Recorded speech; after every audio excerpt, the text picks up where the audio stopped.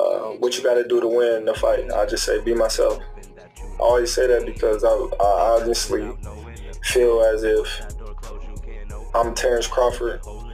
Can't nobody beat me unless I beat myself.